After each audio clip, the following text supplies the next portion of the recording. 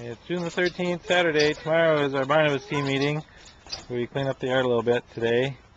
And now we decided we wanted to have some s'mores. So this will be our first fire of the year. And I need to get Johnny a stick.